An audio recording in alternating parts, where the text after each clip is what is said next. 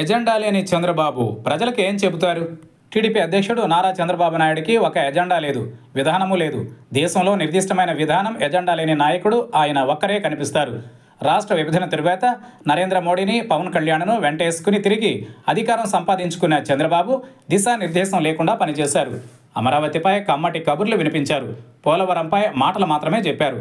జాతీయ ప్రాజెక్ట్ అయిన పోలవరం నిర్మాణాన్ని కేంద్రానికి అప్పగించి ఉంటే చంద్రబాబు ఊరట పొందేవారు. అయితే తన వారికి కాంట్రాక్టులు ఇప్పించుకుని ప్రయోజనం పొందే కుయుక్తితో దానిని రాష్ట్ర ప్రభుత్వమే నిర్మిస్తుందని చెప్పారు. అయినా దానిని ఓ కొలిక్కి తేలేదు. అమరావతి భ్రమరావతిగానే మిగిలిపోయింది. ప్రస్తుతం ఎన్నికలు సమీపిస్తున్న తరుణంలో కూడా నిర్దిష్టమైన విధానం ఎజెండా లేకుండా చంద్రబాబు ముందుకు సాగుతున్నారు. ప్రస్తుత ముఖ్యమంత్రి వైఎస్ జగన్ను ఆడిపోసుకుంటున్నారే తప్ప తాను అధికారంలోకి వస్తే ప్రజల కోసం అమలు చేసే కార్యక్రమాలు ఏంటో చెప్పలేకపోతున్నారు. అంటే ఆయన వద్ద అమలు చేయడానికి స్పష్టమైన కార్యక్రమాలు ఏవి లేవని అర్థం చేసుకోవాలి. ఇప్పటికీ ఆయన అమరావతి గురించే మాట్లాడుతున్నారు. కోట్లాది మంది ప్రజలను పక్కన పెట్టేసి కేవలం పది లక్షల మంది గురించి మాత్రమే మాట్లాడుతున్నారు. అంటే రాష్ట్రాన్ని ముందుకు నడిపించే దిశానిర్దేశం లేని నాయకుడిగా మాత్రమే చంద్రబాబు కనిపిస్తున్నారు. పుత్తుల కోసం ఆరాటపడుతున్నారు తప్ప ప్రజలకు తాను ఇది చేస్తానంటూ నిర్దిష్టమైన కార్యక్రమాలను ప్రకటించడం లేదు. పవన్ కళ్యాణ్ జనసేనతో పొత్తు కుదిరినప్పటికీ బీజేపీ విషయం తేలడం లేదు.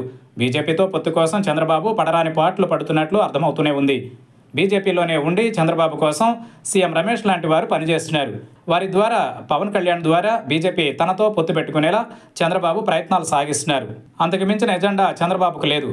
అధికారంలోకి వస్తే తాను ప్రస్తుతం అమలవుతున్న పథకాలను కొనసాగిస్తానని చెప్పే పరిస్థితిలో కూడా చంద్రబాబు లేరు. మొత్తంగా ఒక విధానం ఎజెండా లేకుండా ఎన్నికలను ఎదుర్కోవడానికి చంద్రబాబు సిద్ధపడ్డారు.